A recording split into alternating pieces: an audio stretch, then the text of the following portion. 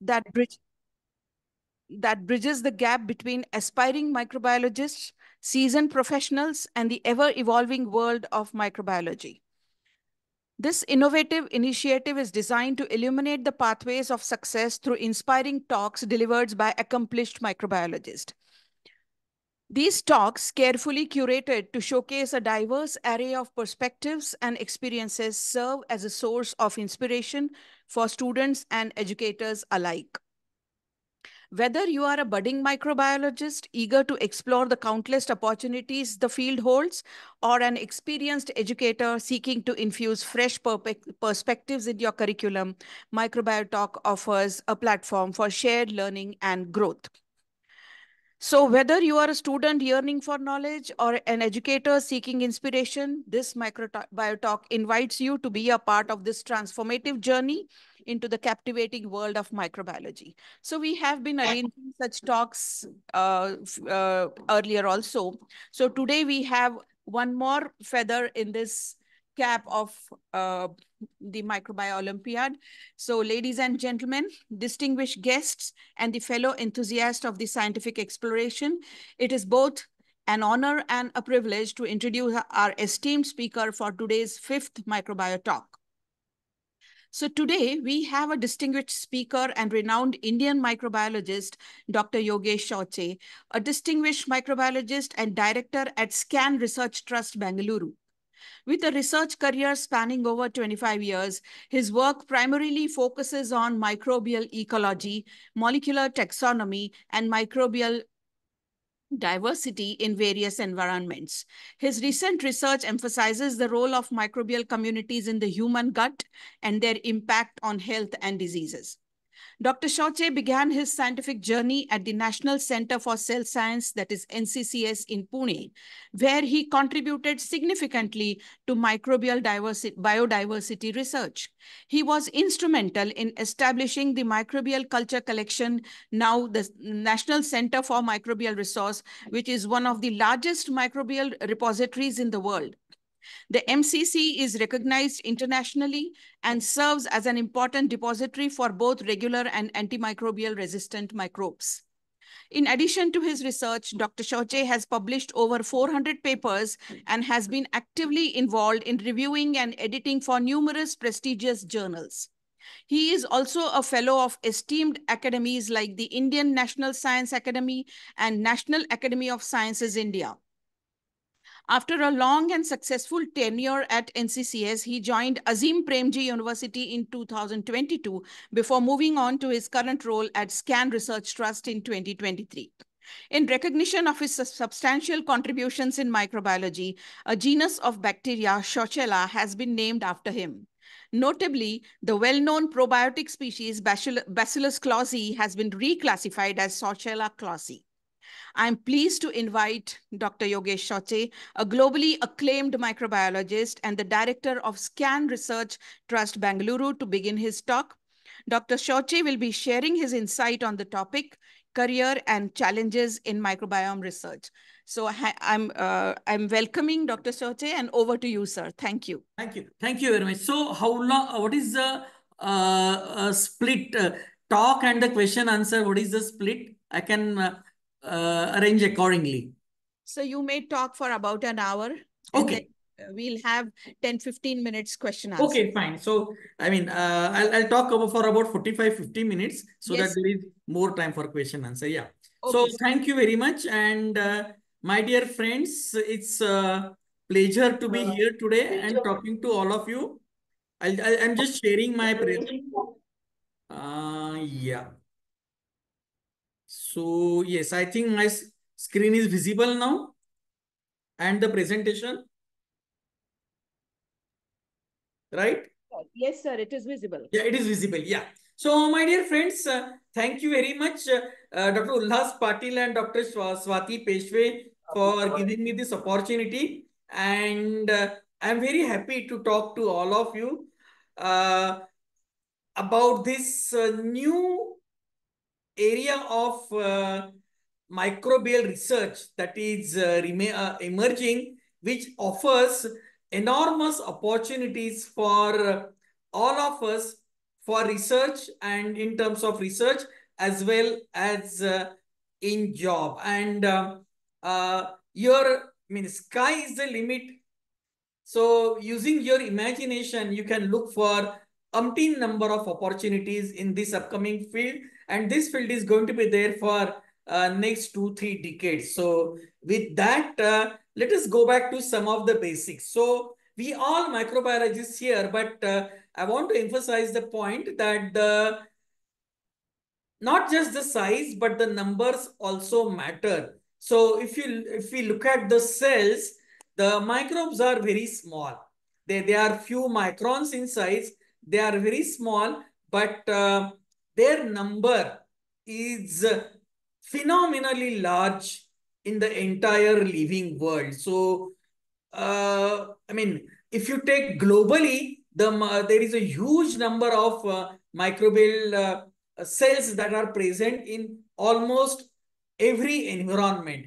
So, starting from the very inert objects like uh, surface of your sitting table or the air to living organisms, all living organisms, microbes are present everywhere and that they do play a very fundamental role there. So some of the roles which we are very well aware of, some of the roles which we are trying to learn now. And here, I mean, it, it just says that, see, when we talk about our body, there are, in our feces, we carry around 10 raised to 11 bacteria per gram of feces and 10 raised to 12 phages per gram of feces. And our body contains something like 10 raised to 14 microbial cells as against 10 raised to 13 human cells. So it is obvious that in our body, the microbial cells outnumber human cells by one fold. And it also has very important implications on function. And if we talk, I mean, I'll revisit this point again, but if we talk in terms of genetic contribution, that contribution by microbial cells is much, much, much higher. So when we talk about microorganisms, we talk about basically, as we know, we talk about bacteria, fungi, archaea, and viruses. So this is what, when we talk about microbes, we talk about that. And it also includes micro eukaryotes. So there is very little information about micro eukaryotes but lot of uh, I mean research has now started on function of micro eukaryotes or unicellular organisms also. Uh, the microbiota and microbiome, the distinctions between these terms, I am going to revisit that in a couple of minutes from now. So I'll, I'll not talk about that. So the whole idea about microbiome gained importance in um, uh, towards the end of previous century. And the whole concept is about what is called as the plate count anomaly. And uh, uh, it, it, it implies that from any environmental sample, you plate it on a culture plate, you see maybe one colony only. And here, when you observe under the microscope, you observe maybe 10, 1000 or maybe 10,000 cells per ml. So this difference is called as plate count anomaly. What grows on the plate is much less than what you see actually under the microscope. So why, why, why this is happening? This question haunted scientists for ever since birth of microbiology that why there are 1000, 5000, 10,000 organisms, bacteria per ml. And here on the plate, you get only one. Even today, we do not have answer to that question. There are only different hypotheses, but uh, we, we do not have a definitive answer to this question. But the question is, now if they cannot grow, how you can study about what they do and what they are? That was the question that haunted researchers for several years and there were attempts to find out the answer to that. And the, for, the answer came from the pioneering work by a scientist called Carl Woese. He proposed the ribosomal RNA gene as a molecular clock for a different reaon. He, he wanted to uh, develop a system to classify the bacteria and he was looking for a molecular clock. And he found that ribosomal RNA functions as an excellent molecular clock. So as an offshoot of this discovery, we know that uh, earlier the tree of life was divided in two branches, prokaryotes and eukaryotes. But his work led to the third branch, which is now called, we know as archaea. So that is, that is an offshoot of work, his work. But then his work led to the acceptance of ribosomal RNA gene as a molecular clock, uh, a, a molecule that gives us the information about evolution of bacteria. And since bacterial classification is phylogenetic, that is evolutionary, automatically ribosomal RNA gene became a excellent tool for studying evolution and phylogeny. And the in the reverse way, uh, taxonomy helps in identification. So a molecule that is good taxonomic tool becomes a good identification tool. So in turn, it, it, it became possible that with the help of ribosomal RNA gene sequencing, accurate and unident uh, unambiguous identification of bacteria became possible. So that's so one thing led to another. And then ribosomal RNA gene in practical terms became a powerful tool in identification of bacteria. And then that had its implications on uh, uh, understanding the why, what are those 99.99% uncultured bacteria? Because as the technologies evolve, this is the ribosomal RNA gene. It is a part of ribosome, small ribosomal subunit. It is 1500 bases long and it has extensive secondary structure. So coming back to what I was saying, that um, initially the sequencing of ribosomal RNA was very difficult because DNA sequencing technologies were not available those days. So he did RNA sequencing. He purified RNA from the living cells and did the sequencing. But as the technology evolved, there were there are certain landmark steps in the history of science that helped to uh, us to reach where we are today. So the most important development, I mean, the ribosomal RNA gene, it was not a technical development, it was a philosophical development. But then the technical development in terms of technique came the discovery of polymerase chain reaction because we want to sequ uh, sequence 6 ribosomal RNA. Now, purifying RNA is tough and sequencing RNA is tough. So sequencing DNA is easy. How do you get the ribosomal RNA gene? Easiest way is to PCR amplify the gene. So the polymerase chain reaction helped in that. With the help of polymerase chain reaction, it became possible to PCR amplify 16S rRNA gene even from a very small number of bacterial cells because you know using PCR in principle you can amplify a even a single DNA molecule.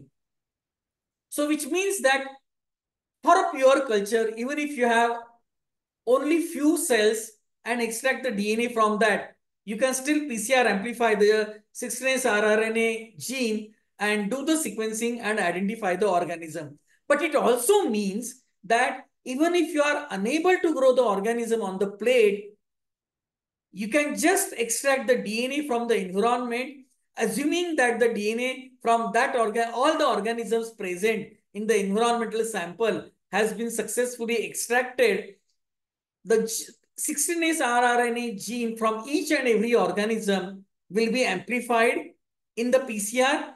And then after sequencing the PCR product, you will come to know all the organisms that are present in the given environmental sample. So that is the basic principle of uh, uh, this technology, which when discovered in 1990s was applied to a large number of ecosystems and humongous uh, amount of information became available for each and every ecosystem, which you can talk about normal rivers, polluted rivers, marine sediments, uh, leaf surfaces, each and everything. I mean, you think of the environment and the uh, microbial ecology of that environment was studied using 16S rRNA gene sequencing. So as you understand, the key to this technology is DNA sequencing. And thus the technique also advanced with the development of sequencing technologies. So earlier, in the previous century, in the 20th century, in 1990s, the available sequencing technology was time consuming, laborious. Initial technology was very time consuming because it involved radioactivity. Subsequently, uh, fluorescence based uh, detection methods came and uh, the automation was possible. It became little faster, but still it was not fast enough. But at the beginning of this century, technologies were developed which are collectively called as next generation sequencing technologies or massively parallel sequencing technologies which enabled us to do the sequencing in a huge quantity in a very short period of time and that led to the development of microbiome science as we talk of it today. So just to give you an example, at the beginning of this century, a human genome, which is around 3 GB in size, the sequencing estimate for sequencing cost was 15,000 crore rupees and the time estimated was 11 years. But as the next generation sequencing technologies or massively parallel sequencing technologies develop, the cost and the time starts decreased, started decreasing dramatically. And today, the same task can be done in less than 24 hours and in less than $100. So that is the phenomenal development uh, that happened. And just to show this in another way, the sequencing cost per megabase of DNA at the beginning of this century was $5,000.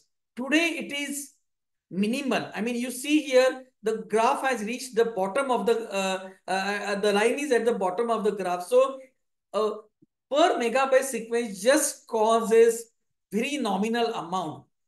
And the output of sequencing technologies, if you imagine today, the latest version of one of the uh, top sequencing manufacturer available, the uh, which has come today in the market uh, recently in the in the last month only, that can you imagine the amount of uh, sequence that generates?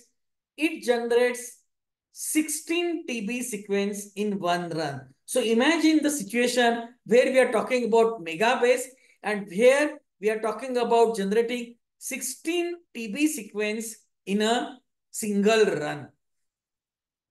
So the cost of sequencing has come down dramatically and that's why we see a huge amount of research being done in microbiome in general and human mic microbiome in particular.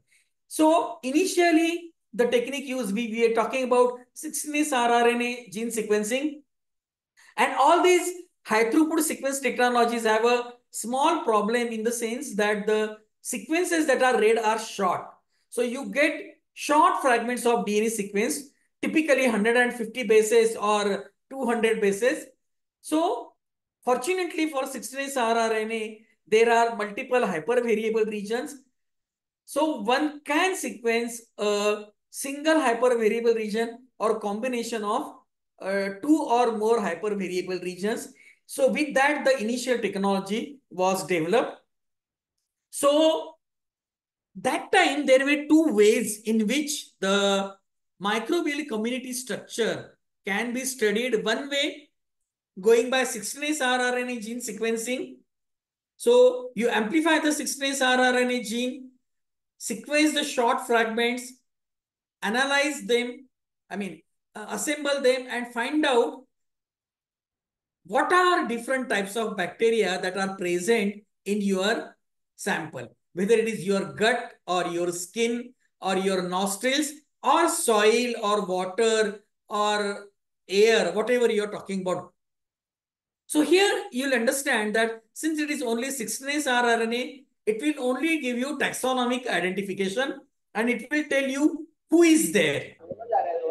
What are the type of organisms that are present? As against that, the sequencing technologies don't make any difference between 16S rRNA and any other DNA. So since we can generate as much as uh, 16 TB sequence per run, or earlier it was 3000 GB, uh, 500 GB sequence per run, and microbial genome is typically 5 to 6 MB, it was still possible to generate huge amount of sequence data and get the complete microbial genome sequences. So people also tried to do what is called as shotgun metagenomics, where you are not looking a single gene, but you are looking at whole genome. So as you will appreciate, since you are looking at the whole genome, it will give you more information. It will tell you about all the genes that are present. But at the same time, it is expensive and it requires a huge computational power. But still, it gives you a lot of information. So today, even the metagenome sequencing has become very cheap and largely today one does uh, this shotgun metagenomics analysis to understand microbiome structure because not only you get taxonomic profiling, but you also get functional analysis. And we all know uh, uh, that the way life functions is the with this basis, what is called as central dogma of micro, uh, molecular biology. So DNA is the information storage molecule, but the DNA functions through RNA acts as a kind of mediator. So information from DNA sequence gets into translated into RNA sequence and the RNA sequence gets translated into the protein. And then proteins are then the functional molecules, they act as enzymes, they act as structural proteins, and they actually are the functional molecules. So why to leave behind these molecules? Why only concentrate on DNA? So people started uh, looking at RNA, they started looking at protein, and they started also looking at the end products of this activity, that is the metabolites that are produced. So today now we have all omics. We talk about uh, metabolomics, we talk about metaproteomics, we talk about metatranscriptomics. So a variety of omics methods are available today to study the life at molecular level. And uh, so, uh, I mean, uh, the, this is where the distinction comes when you talk about microbiota. It is the organisms, but they function through their macromolecules, proteins, lipids, polysaccharides, signaling molecules, uh, toxins and other things. So these are the actually functional molecules. And in omics approach, we not only study microbiota, but we studied proteomics, we studied lipidomics, we studied uh, carbohydrates. So all this leads to, uh, all this is called as microbiome. And this is what a microbiome studies evolve. So as I said that there are variety of ways in microbiome can be studied. One is DNA-based approach. In that you can have either amplicon sequencing or metagenomics. You have RNA-based approach where you study metatranscriptomics. You study protein-based approach where you study metaproteomics. Or you have metabolomic-based approach where you study the metabolo, which is called as metabolomics. And the techniques used for everything are different. So here, these two, you, you use sequencing techniques proteomics and metabolomics altogether different, different techniques are used.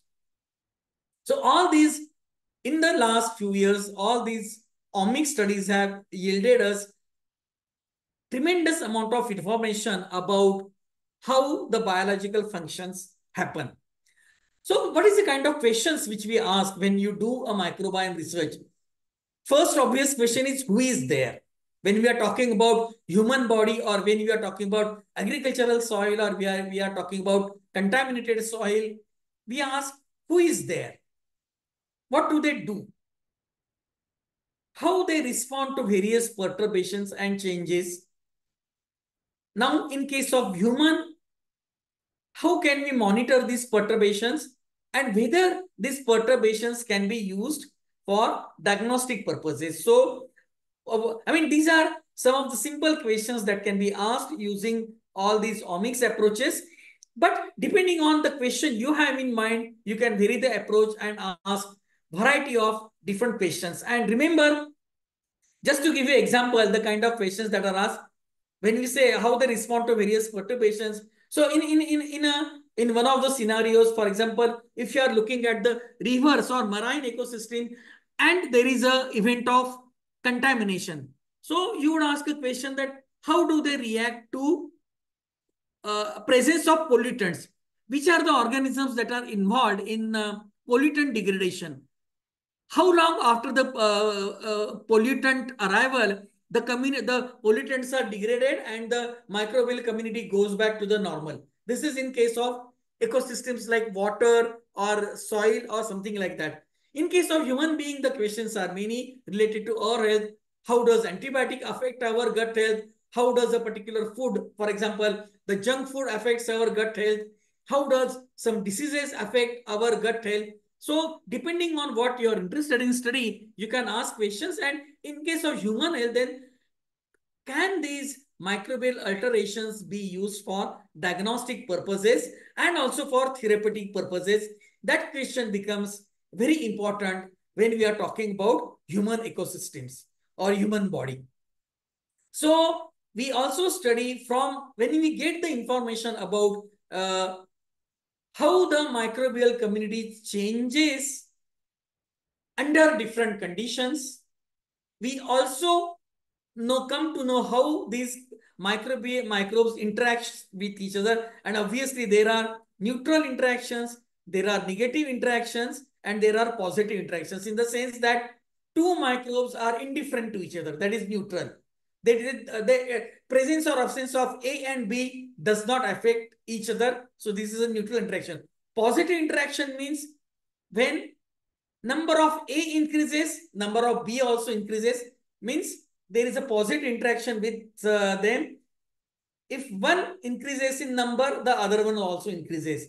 Negative interaction is B is antagonistic to A. So if the number of B increases, number of A decreases. So we study all these interactions in our uh, different body parts and try to understand how these microbes are interacting with each other in our body.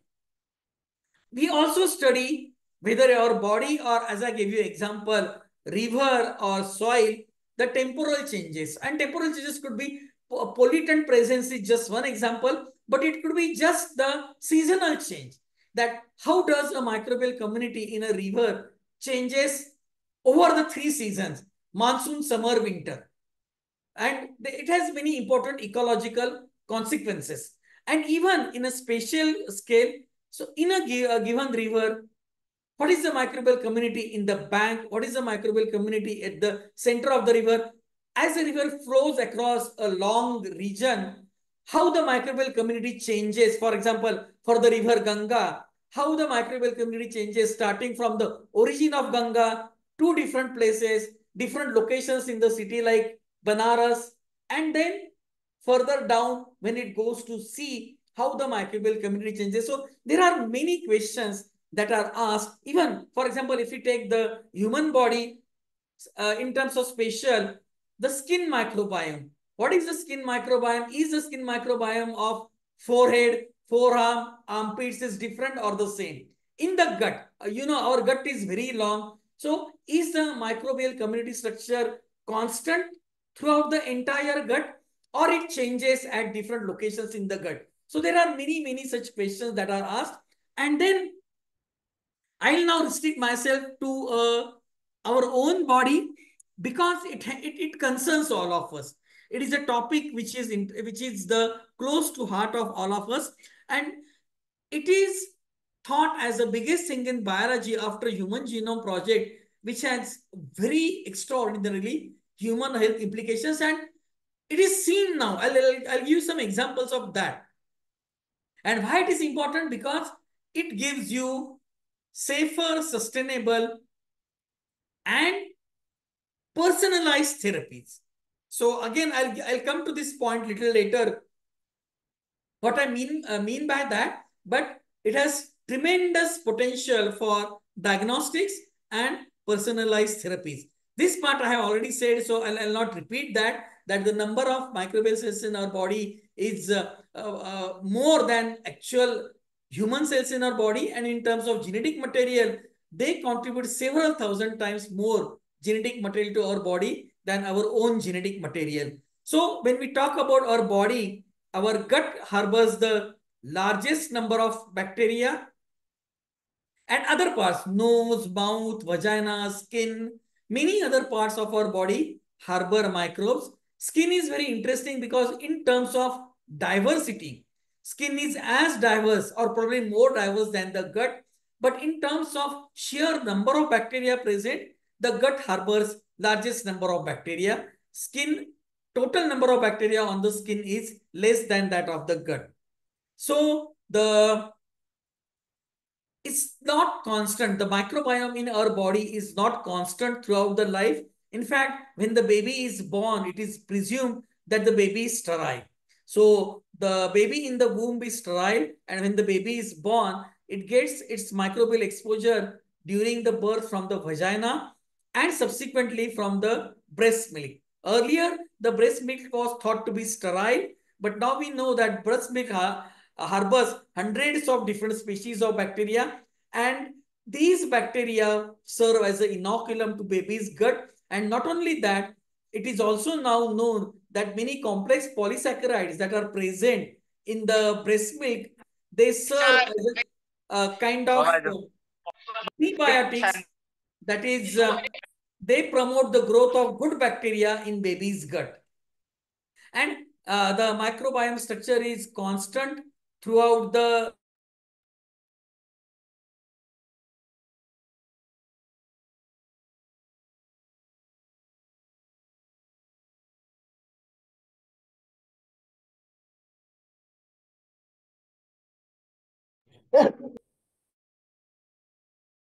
Okay, yeah, fine. So as we grow older,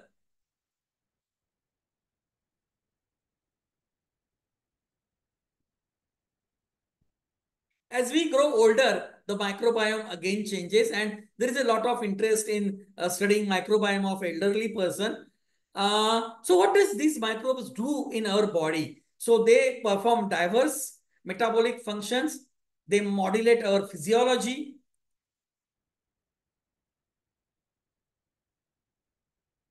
They modulate our physiology, uh, immune response. They protect intestinal integrity. They also ensure body energy homeostasis. They metabolize the food we eat and other xenobiotics, the drugs we consume. They also have uh, uh, produce neurotransmitters. They also produce antimicrobial peptide to combat infections. Most importantly, this is we know they produce vitamins and amino acids. And today, I mean, the topic that has gained importance is the gut-brain axis. So they also produce lot of compounds that directly act on the brain. So, and thus today we believe that the gut microbiome also has an effect on our mood swings, anxiety, depression, neurological disorders, our memory, our intelligence. So all those these are affected by the gut microbiome. So the gut-brain axis is a very hot topic of research today. And that leads to the concept of healthy human microbiome. So what constitutes a healthy human microbiome and what kind of bacteria which you should have in your gut or any other body part for that matter to keep you healthy. So that is again a topic of research that how you define as a healthy human microbiome. And this healthy human microbiome varies across the globe because the microbiome is dependent on your genetics, biogeography, your dietary habits. So it varies across the world. Uh, uh, from the available literature, it, it is seen that the people living in different part of the world have different microbiome. And when we talk about our health today, we say that earlier we used to think that the determinants of health are host genetics and lifestyles, But today we know that the microbiome is also a important component that determines our health. So it is believed that when we, especially talking about the gut, but it is true for other body parts also, that when the gut microbiome is at homeostasis, then uh, with the, I mean, the diet is an important contributory factor. So a good diet makes a healthy microbiome and then you remain healthy. But if you alter the microbiome, make it unhealthy by unhealthy lifestyle, unhealthy diet, or some genetic factors, then there is a dysbiosis and you get variety of diseases like gastrointestinal disorders, liver diseases, obesity, diabetes, cardiovascular diseases, cancer, and other chronic diseases. So, healthy microbiome with good food, you are healthy. Bad food, bad lifestyle, microbiome dysbiosis, and it is responsible for variety of diseases. So that is what we know about microbiome today in the last two decades of study in microbiome. And this has been studied in many diseases.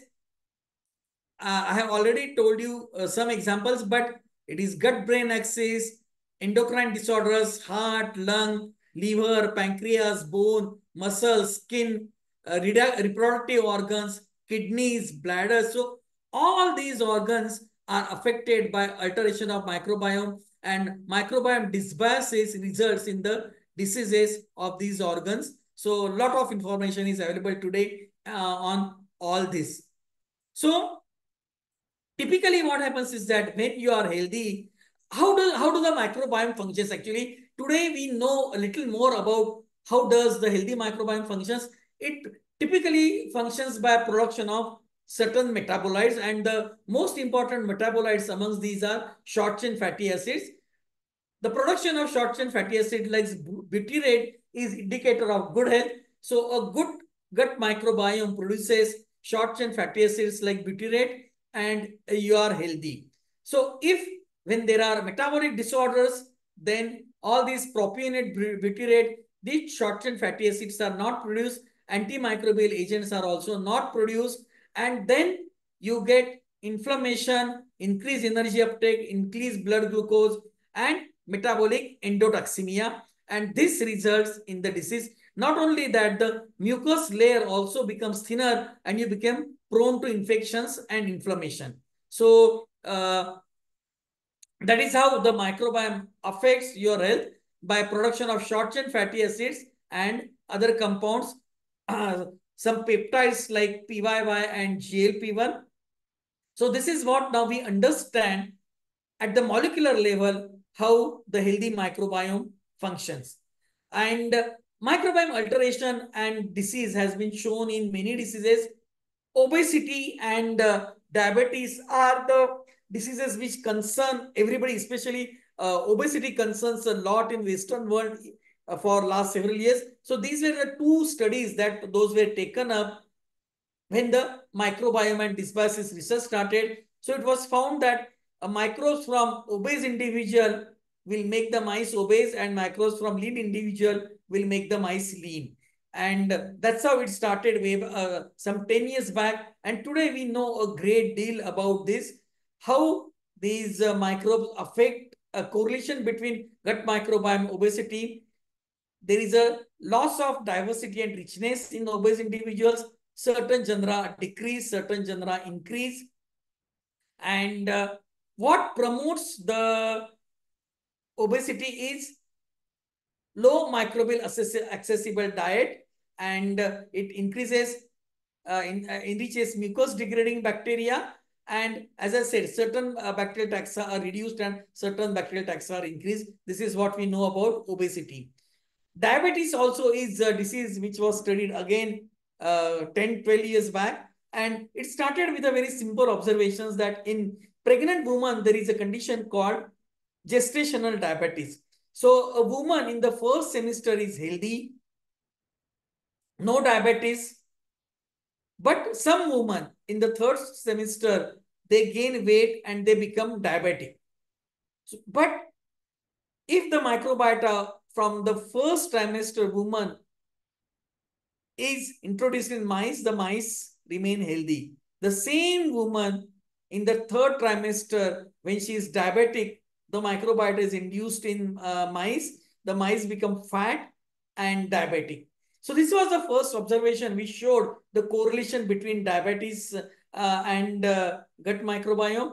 Today, in-depth knowledge tells us about the microbial taxa that play role in uh, uh, development of diabetes. Certain taxa are increased, certain taxa are decreased.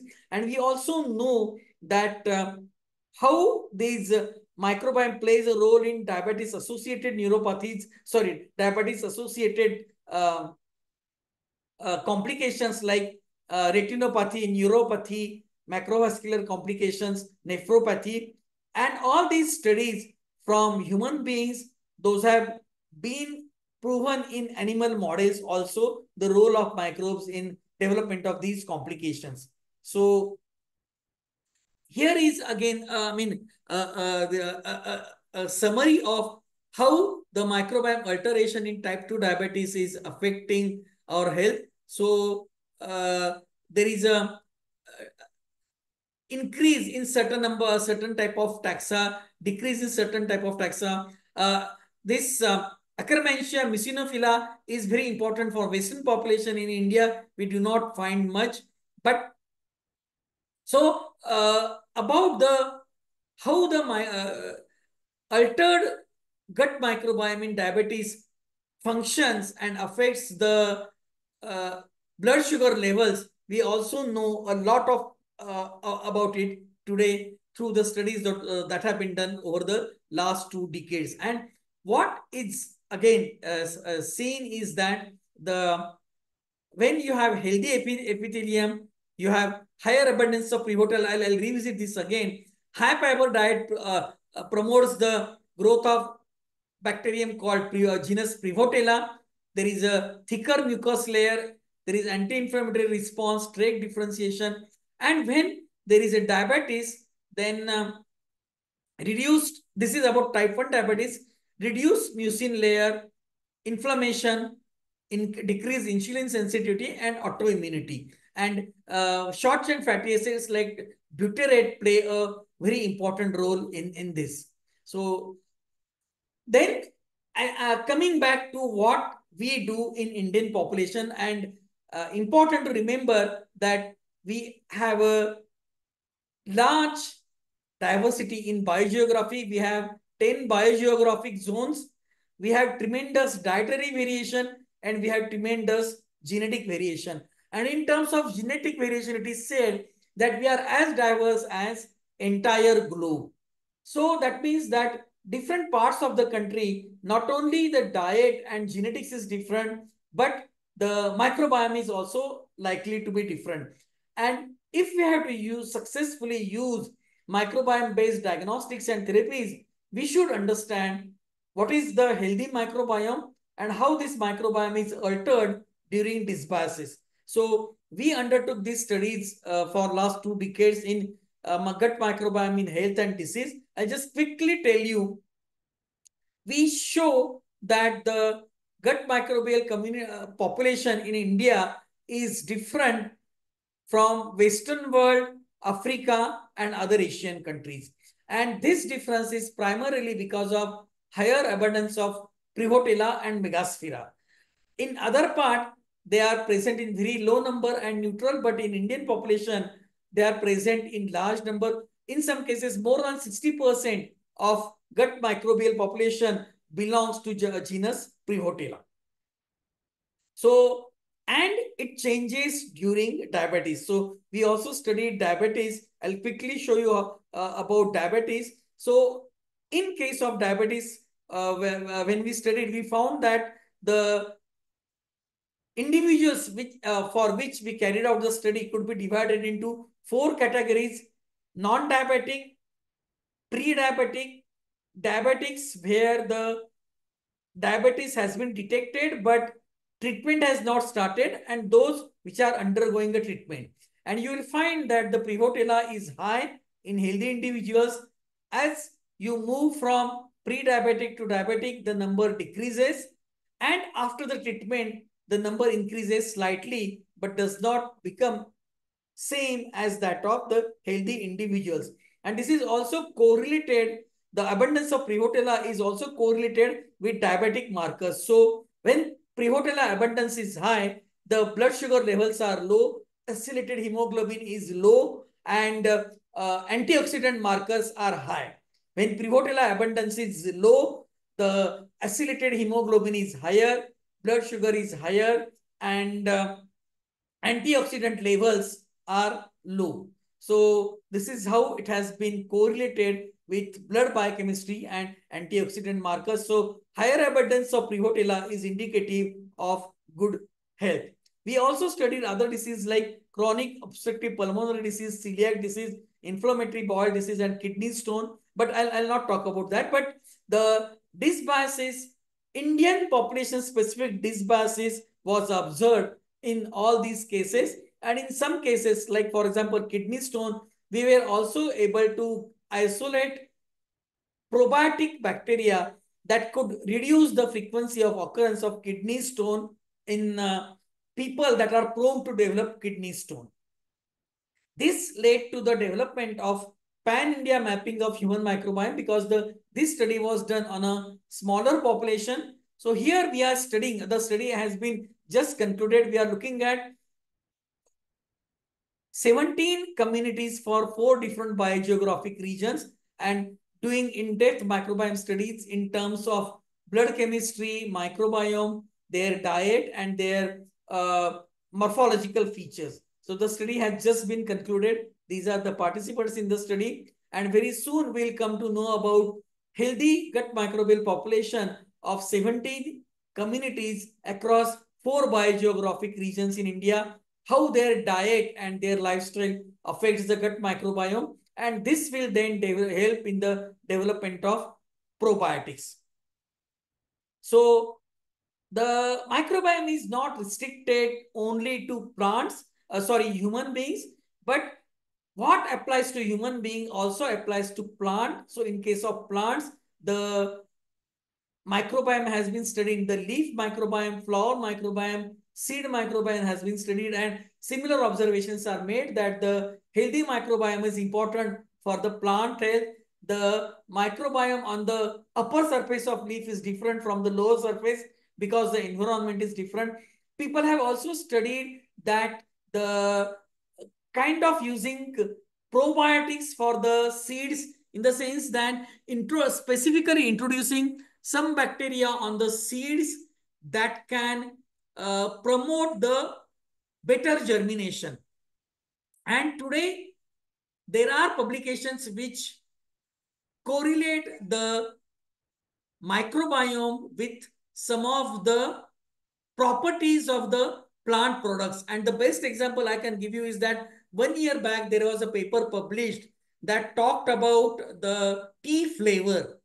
And uh, it showed that the flavor of the tea is dependent on the soil microbiome surrounding the tea plant.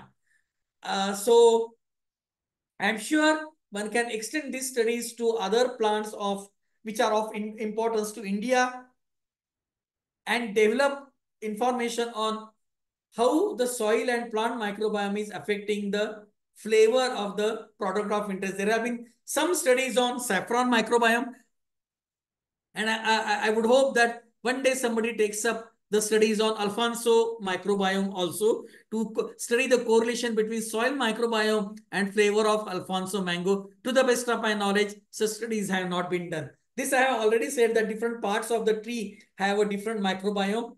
And in general, in agriculture, India is an agricultural country. The microbiome is important in every aspect because plant, for sure, it is important. But what is true for human is also true for our farm animals, also cattle, because the healthy microbiome gives you healthy animals, whether for consumptions or for the animal products. Like for example, eggs or milk, a healthy gut microbiome of the milk producing animals will give you a better quality milk, uh, milk that is uh, more nutritious. The same holds true with hens. So a healthy microbiome of hen will give you nutritionally better eggs, nutritionally better fish. So it has immense importance in agriculture also.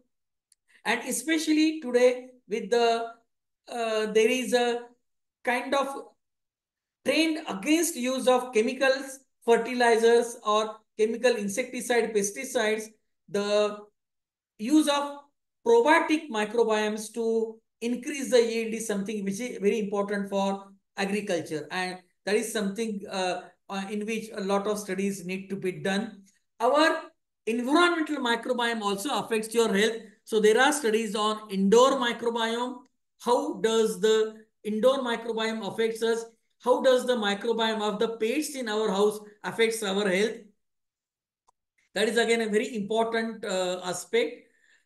Urban microbiome, the role of urban environments like public transport systems, whether uh, it is suburban, suburban trains in Mumbai or any other means of mass transit like metros, what role they play in the health of the population there.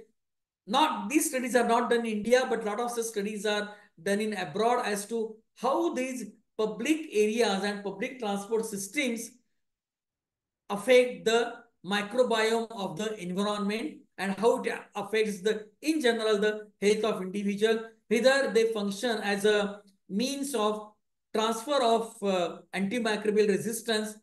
That is also an important aspect of study space microbiome has taken up a lot of interest in the recent years and it is obvious uh, to say that the environment within the space shuttle, the microbiome within the space shuttle and space shuttle surface environment is important for the health of the microbiome. That is on one side. And on the other side, it is a common sense that when somebody stays long time in the space, then the unique conditions there would also affect the gut microbiome of the astronaut and it will have a detrimental effect on the health of the astronaut. So a lot of studies are being done on the space microbiome, especially on the uh, environment of the space microbiome and the gut microbiome of astronaut because uh, we also know um, that the gut microbiome affects the your moods, your depression and anxiety. So in the space when astronauts are isolated and if they have the feeling of depression or anxiety, then kind of probiotic treatment would help to improve their mood and in their general health. So that's why space microbiome is also very important. So when we talk about microbiome now, today we talk about one health approach. So not only the human health, but the animals that come in contact with us, their health and their microbiome, and other environment that comes in contact with us like plant or soil or air or water, the microbiome of all these is effectively going to affect the human health. So for that reason, the studies on microbiome of environment, animals is also important. And that's what we call as one health approach for the studies of microbiome. And uh, uh, it, it, it just doesn't stop at stop there. I mean, one would obviously ask a question that uh, it's fine. I mean, all these studies are important. They tell us disease microbiome association, but what is the use?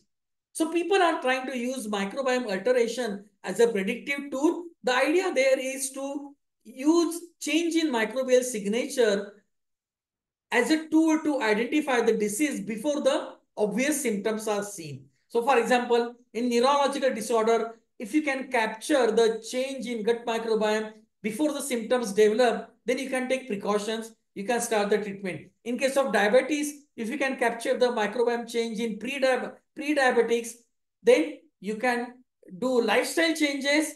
And either stop or delay the onset of diabetes. So this is why the microbiome has become very important as a predictive tool. And there is a role of artificial intelligence in that so because you monitor the microbiome changes over the period of time and then generate mathem uh, mathe uh, mathematical models to predict the changes and associate the changes with the diseases. So AI and ML also play a very important role. And the last thing is microbiome can also be used as a for the therapeutic purposes. So there are many ways in microbiome can be used for the therapeutic purposes. Historical and most obvious way is to use fecal microbiota transplantation. You transfer the fecal microbiota from healthy individual to a patient by simply transplanting the feces from the healthy individual. This was done very successfully for a disease called as Clostridium difficile diarrhea. Fortunately, we don't find that in India. It is more common in Western world. It is hospital acquired infection where the mortality rate was 100% because it is hospital acquired and antibiotic resistant. But when they started doing fecal microbiota transplantation from healthy individual, the mortality rate was reduced to 0%. So that means there was 100% success of the transplantation. Then it, it, uh, it was being used for many other diseases. But since aesthetically that doesn't sound very attractive, people started developing microbial consortia from the healthy gut. Then single isolates with known or general prebiotic attributes, genetically engineered microbes to target specific disorders, and finally the bioactive molecules from these molecules, the functional molecules. And as you can see, the specificity increases as you go from, from FMT to bioactive compounds and the ecosystem effect, that is the effect on our gut are maximum with FMT and minimal when you use bioactive compounds. So there is this gradient.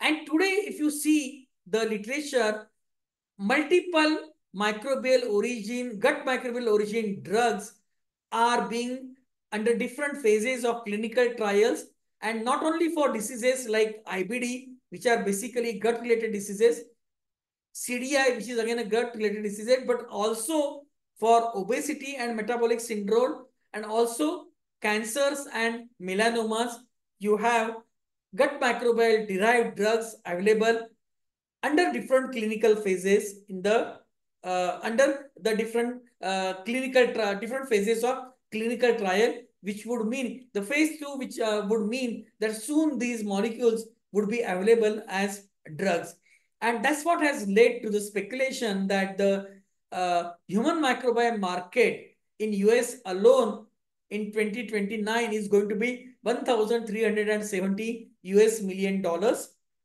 And it is in both diagnostics as well as therapeutics. So in, in both uh, uh, domains, there is going to be a tremendous potential. And if you look at the top five biotech startups in uh, uh globally, then you will find out of these uh, five top, top uh, biotech startups, Three are for human microbiome, but vast microbiome is for animal, uh, sorry, plants and anisome is for animals. So again, it emphasizes the point that it is not only just the gut, but animal and plant microbiome is also important and there is a tremendous potential for that. So with this, I'll, I'll just, uh, uh, these are all my collaborators and it's uh, impossible for me to take name of each and everybody. And uh, I'll just quickly in uh, 30 seconds, I'll tell you about SKAN, which is a, uh, basically a research trust with the aim of transforming the future of medicines, impacting millions of lives. So we function from Bangalore with a currently makeshift lab at uh, St. John Research Institute, but we are going to have our own campus soon on uh, outskirts of uh, Bangalore on Kanakpura Road, 180,000 square feet campus where we are going to expand in a big way. So we have multiple collaborations at national or international level, including places like Quadram Institute of Biosciences, Sanger Center, University of Cambridge, and in India, uh, Indian Institute of Science, NIMHANS, because we work on neurological disorders. So, I'll, I'll, I, I, but I, I, did not talk about any research that is going on in this SKAN. We work basically on stem cells, gut microbiome, understanding the development of uh, neurological disorders and aging, and making our life in general comfortable by uh, understanding the mechanism of these diseases and aging and finding out ways to make the life more comfortable by certain interventions. So that is our basic aim of research. Thank you very much. And now I'll be very happy to answer any questions that you have.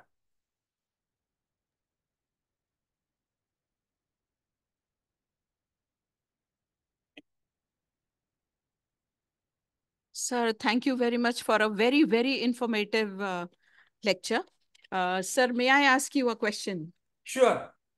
Uh, I was really fascinated by the uh, research that the presence of uh, Prevotella, uh, Prevotella bacteria is an indication of a good health.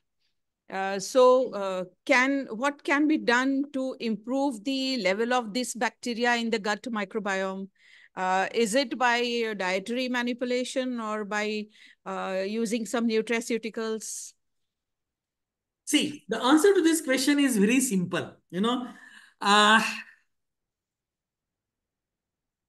the simple way to have healthy microbiome is to have healthy food. So, and what is healthy food is the food that is rich in fiber. So, you consume vegetables, you consume legumes, you consume uh, uh, high fiber diet uh, so that is you consume bhakri and roti and not bread and burger. Yes, you will remain healthy. You don't even have to go for probiotics if you simply consume uh, curd and other fermented foods that are made at home.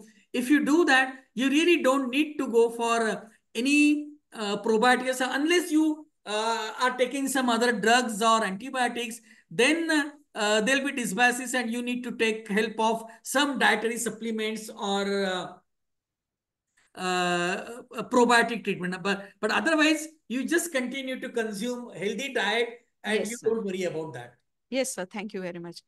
Uh, the topic is open for discussion. Students, you may shoot your questions. So many interesting things I did not tell, but uh, since we're talking about health, there, there are also studies on what is called as athlete okay. microbiome, where it has shown that the professional athletes have a microbiome that is different from the normal individuals and people have done FMT from athletes to increase their endurance. So the, the, the science is used by many people in many different ways. Yes, sir. Yeah, but yeah, over to audience. I'll be very happy to answer any questions directly or in, uh, indirectly related to my talk.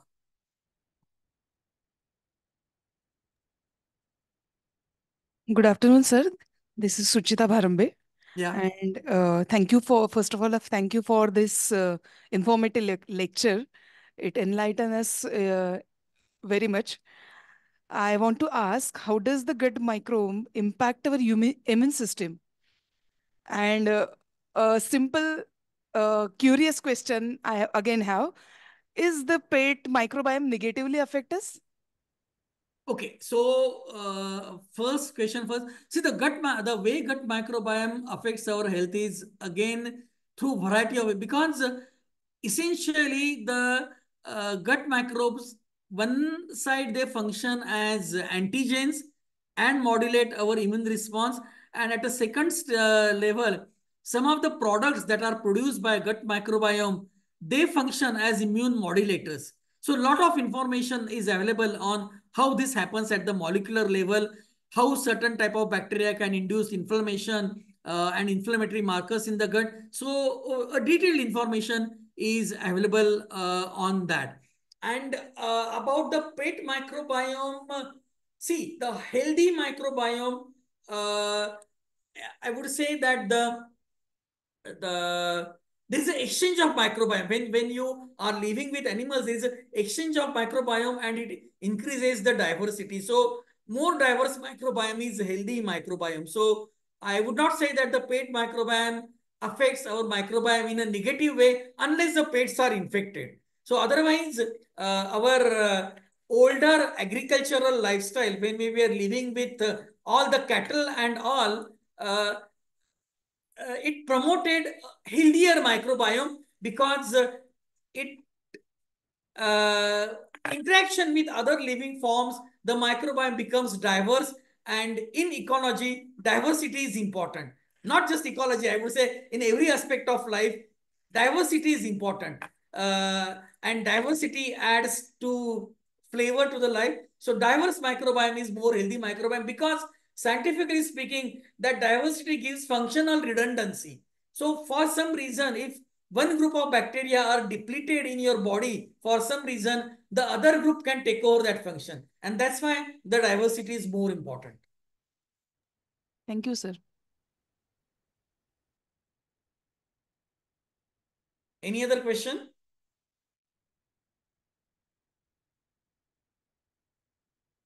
From the student side, see, I'm not seeing anybody's face. So you don't have to worry uh, uh, while asking question because uh, your faces are not really visible. So even if you feel that the question is, uh, uh, what should I say? Uh, question is funny, don't worry about that.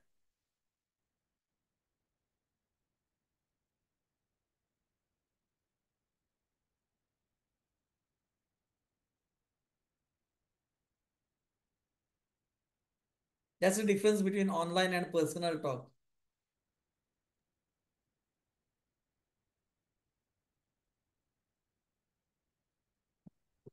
Excuse me, sir. Yeah. Hello. May I Yeah. audible? go- Yeah, go ahead. Yes, sir. Uh, myself, Mrs. Vaishali Wadekar from Institute of Science. Sir, uh, there is one question uh, that you you told that the microbiome playing important role in plant growth. Yeah. And the uh, example you quoted was that uh, uh, that uh, tea plants, tea Yeah. plant soil microbiome. So, sir, can we improve the uh, quality of the plant just by exchanging or introducing the new microflora at the uh, different places? Can is this, there is any exper uh, experiment going on I think that is the future of uh, microbiome studies, and uh, some of you sitting here can take up these studies. This paper was published only last year. Okay, so obviously this is the observation that is made that the soil microbiome affects tea flavor. So now the next obvious thing is to identify which components are the ones, which components of microbiome are responsible for developing a better flavor and then uh, develop those kind of microbial consortia for uh, uh, Uh, so as soil inoculums to get better flavor tea. So that is Okay, going to be the next logical step. Okay. Thank you, sir. See, the advantage of microbiome science is that it is all evolving science. So there are lot many newer things to do. Okay. Yes, sure. Thank you, sir. Thank you. You can also type your questions in chat box. If you don't want to speak, uh, I have opened the chat box. So feel free to write, uh, type your questions in chat box also so that uh, you have no fear of uh, speaking. Hello, sir. Yeah. My question is how gut health affect our mood swing? Ah, okay. See, that is a little complicated question. Uh, see, um, these studies, you know, when the microbiome studies go in two stages, okay? One stage is what is called as observational studies.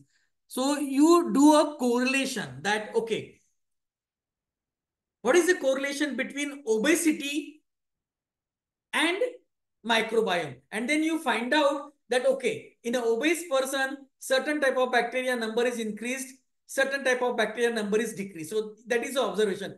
Then you try to find out how that is happening at the molecular level. So in case of obesity, we have gone to the molecular level. In case of moods, it is still at the observational level. But it's, it's, it's quite obvious that uh, we know the kind of compounds that chemicals that affect our mood. For example, serotonins. So the if gut microbes produce these compounds, which from gut through the blood they go to the brain, then they will affect the brain function and result in change of the mood. So that is the logic. But we do not know which bacteria produces what compound and uh, how it affects uh, our mood. That is something which we do not know, but this is the hypothesis. Okay, sir. Thank you. There is a question in Uh, the chat box. Sir, can you tell me more about uh, shotgun metagenomics?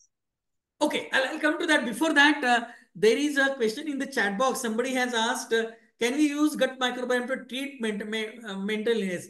Yes, I mean, the answer is definitely yes. There are a lot of studies going on where the uh, gut microbiome alteration is being used to at least reduce the severity of mental illness. We ourselves are involved in a study wherein we are trying to use gut microbiome alteration to reduce the severity of disease in uh, uh, uh, Parkinson disease. So, yeah. Uh, and now coming back to, sorry, somebody said Sir, I have a question. Uh, can I answer the previous question about shotgun metagenomics first? Then Yes, yes, sure, sure. So, see, the shotgun metagenomics is the one where uh, you sequence the entire uh, genome of the all the organisms present in the given sample. And it is basically, it's a simple genome sequencing.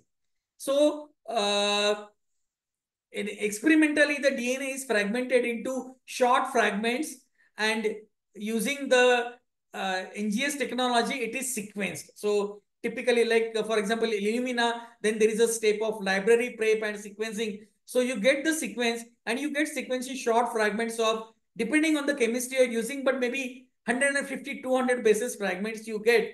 So, and that 200 uh, basis fragment, you generate data, something like uh, a typical metagenome, you will generate 10 GB data. So that, that 10 GB data, you analyze, you try to put those 300 basis fragment together because there is a overlap. So you try to put this fragment together, make genes out of it, and then assemble the genes and make the genome, and then try to find out what bacteria. Oh, from the genome, you predict the function, and then it goes on. So uh, this is in brief, I can tell you. But uh, explaining it in more details would take more time. So, but I hope presently it answers your question.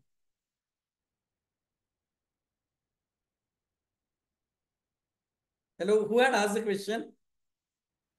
Yes, sir, I'm Bipasha Shaha and I have a question about uh, how much gut microbiomes affects on uh, our mental health like depression and anxiety or such other things. Yeah, I partially answered that question by saying that today there are correlational studies where it has been shown that uh, there is a correlation between mood and uh, presence of certain type of higher abundance of certain type of bacteria in the gut and lower abundance of certain type of bacteria in the gut. There is a correlation.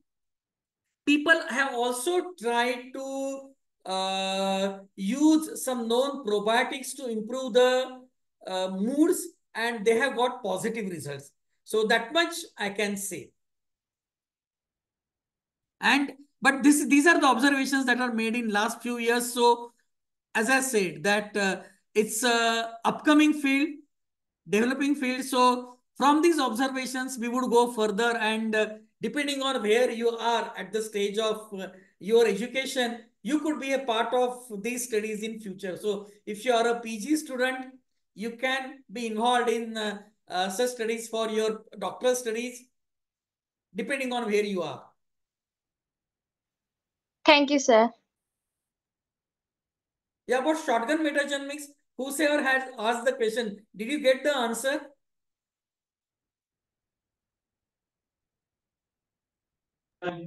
Yes, sir.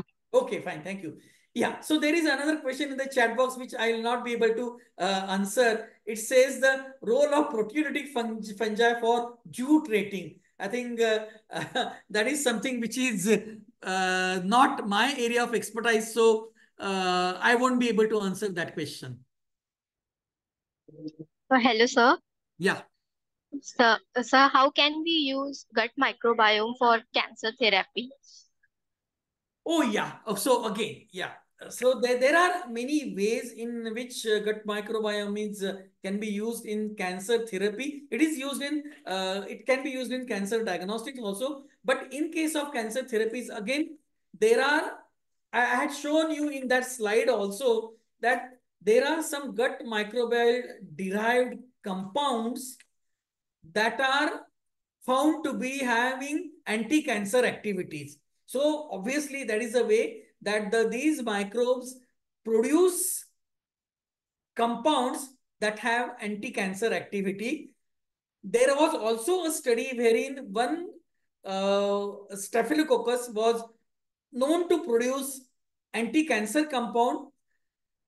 But in that study, instead of using the compound, they actually use the compound producing bacteria for the therapy as a kind of microbial therapy and it was successful in reducing the size of the tumors.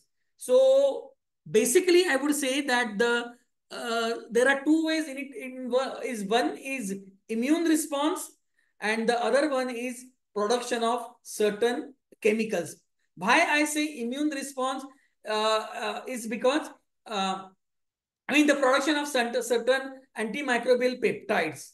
Because there was a uh, you all know the name of Anand Chakrabarty. So several years back, he had made an observation that if a kid, person with kidney tumor has kidney infection, then as long as infection is there, the tumor is controlled.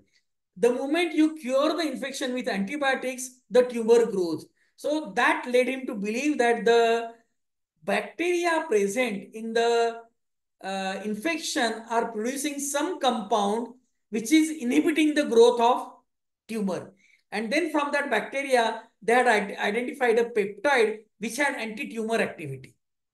So that way, the they bacteria basically they produce uh, one way is immune response modulation and second way is production of some specific molecules that would inhibit the tumor growth or kill the cancer cells.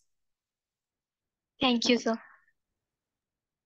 Excuse me, sir. Good afternoon. Good afternoon. Uh, my name is Shomili Shidda and I have a doubt. Yeah. So, uh, in the NGS technologies, uh, there are so many genes which are being evaluated. So, there could be unexpected results like risk factors for other diseases or unidentified variants. So, what should be done in this case? Okay, see, this question goes to different realms. It from uh, I believe you're talking about human genome sequencing, and you are not talking about microbiome. So when you're talking about uh, human genome sequencing, see uh, the path from a new variants to uh, making them into specific diagnosis is very long path. So in, in, a, in a different context today, we are also currently working on some new variants in uh, neurological disorders. So we have consistently observed these variants in the certain deceased individuals.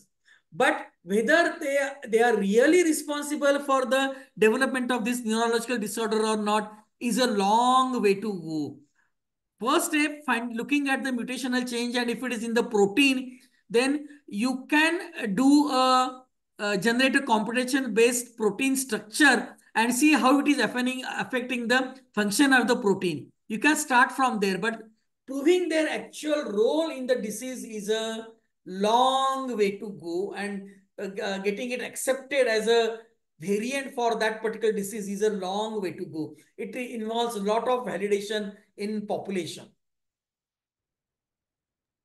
Does okay, sir. Thank you. Very much. Yes, sir. Yes, sir. Thank you. Thank you. So there is a question in chat box uh, about bloating. Yeah. So yeah, the uh, the bloating can be controlled by using gut micro uh, microbes because basically bloating bloating is because of the undigested food getting uh, digested in the large intestine and that produces ga gases. So obviously by use of uh, proper uh, gut bacteria, the bloating can be controlled. there, and there is a question about sleep cycle and gut microbiome. Yeah. So that is a science where very little work has been done, but there are some studies about the circadian rhythm and uh, gut microbiome uh, alteration, how the gut microbiome changes during the 24 hour cycle. There are some studies on that. But you know, the greatest limitation about uh, gut microbiome studies, which we have today is when we talk about gut microbiome, we actually are talking about fecal microbiome and which has its own limitations. So it, it kind of, it's, it's a gross picture about the gut environment and there is too much of noise which in which we lose the real picture. So the gross information from the fecal microbiome does not give us a very clear-cut picture as to what is actually happening inside the gut. So we need to develop some other technologies to uh, study the actually what is happening in the gut. But yes, there are studies in the on the circadian rhythm and the gut microbiome. Excuse me, sir. Hello. Yeah, please. Uh, sir, uh, when the normal microbiome, gut microbiome, when they become the opportunistic pathogens, so how they affect, uh, means how they can be controlled by the other organisms. Suppose one, one or two, they become the opportunistic pathogens, then can there is another uh, uh, um, uh, microorganism in the gut which can be controlled uh, their activity? Okay, uh, you are, uh, what is your background? sorry, sir, I am from the biophysics department. Oh, you are from the uh, biophysics department. I'm sorry. Then I would not ask you the question because see, it's a very simple for a microbi in microbiology. It is very simple. So there are three ways in which you can uh, reduce the number of opportunistic pathogenic bacteria. Okay, uh, one way is first is you want to reduce the number of that particular bacterium. The way is to use some compound which is specifically targeted against that bacteria, some chemical or the phages against that bacteria. That is one way. Second way okay. is to use, alter your diet in such a way that the other healthy bacteria will start outnumbering. And third way is you just forcefully introduce the healthy gut bacteria in the gut so that the numerically this opportunist pathogen number would go down. So these are the standard approaches that we use. So alteration of diet, use of prebiotics, and use of uh, agents like phages or colicins to kill the opportunistic pathogen. Okay, thank you, sir.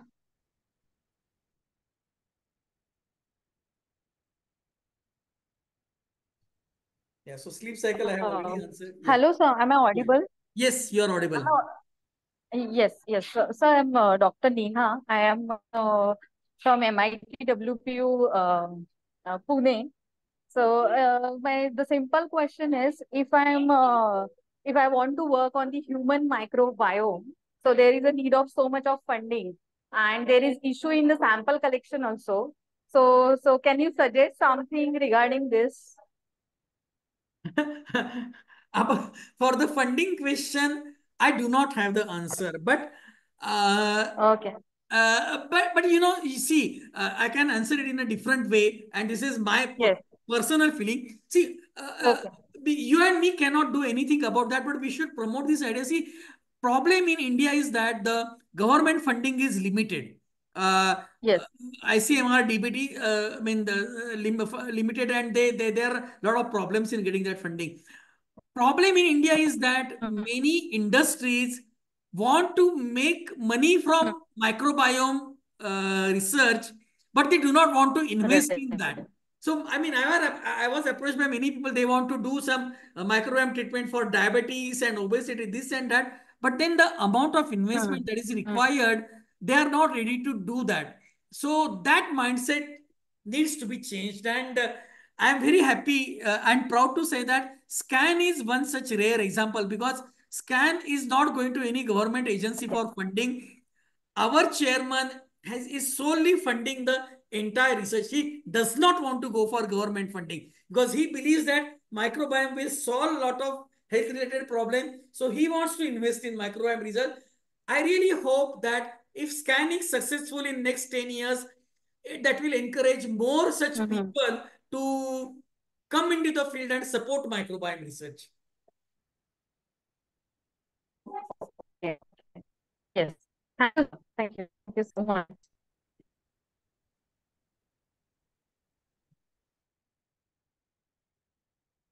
Any other question?